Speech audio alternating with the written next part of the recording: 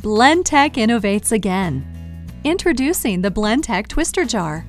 The Blendtec Twister is a specialty jar engineered to handle your toughest blends.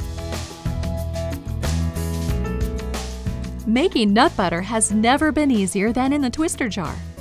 Choose your favorite type of nuts and add 1.5 cup to the twister jar. Ramp up to speed 6. Use the tines to pull the nut butter away from the walls of the jar and in seconds you have a fresh nut butter that is warm and ready to serve. The twister jar is made for thicker, more dense blends, such as peanut butter, hummus, pesto, baby food, and more.